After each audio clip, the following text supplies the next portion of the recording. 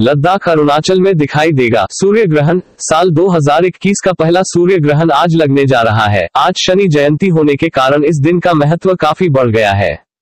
वैसे तो ये ग्रहण भारत में दिखाई नहीं देगा, लेकिन अरुणाचल प्रदेश और लद्दाख में ये आशंक तौर पर दिखाई देगा। सूर्य ग्रहण का प्रारंभ आज दोपहर एक बजकर बयालीस मिनट से प्रारंभ होकर शाम छह बजकर इकतालीस मिनट तक रहेगा।